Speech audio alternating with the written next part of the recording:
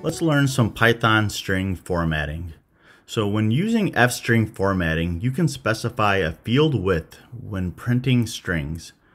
For example, if we want to print hello world, my name is, and then your name, around the curly braces where your name variable goes, you can have a colon 10, and that'll set a width of 10.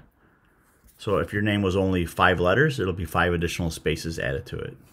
You can also add an align character before the field width to set the position of the string.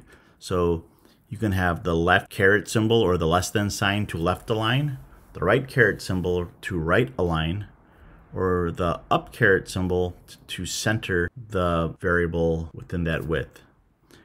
And you can also add a fill character before the align character to fill up empty space. And the default is space. And finally, you can set floating point precision by adding a dot number and then the letter F after a floating point variable where number or the hashtag is the number of decimal places. For example, a dot 2F after any kind of variable will only display that numerical number with two decimal places. And this is great for representing currency in your program. Let's try out some examples of this in Python. In this example here, let's take a look at this top section we are printing out these headers, rapper name and net worth. And notice that we are setting the width of rapper name to 15 spaces and the width of net worth to five spaces. And even though net worth is actually longer than five spaces, it's going to expand and make room to fit the entire thing. And then underneath, we are printing this hyphen 21 times. So this is a quick little shortcut way to print out 21 hyphens rather than just entering 21 hyphens manually. And then we are setting the consistent number of column width for each of these rapper names, Kanye West and Drake, and, is, and setting a consistent width for their net worth in the next column. And what this is going to do is create this text that's highlighted here. And then notice how by assigning a width to each column, you are creating this little tabular view, which look, looks like kind of like a receipt where everything is aligned. And it doesn't just have like net worth right next to Kanye West's or Drake's name. So it's a little bit spaced out and it's even consistent lines and it's easier to read. So that is what field width allows you to do. In the next example, we're using the align character. So we could see here we are left aligning the Kanye West name, whereas here we are with the greater than sign, we're right aligning Drake's name.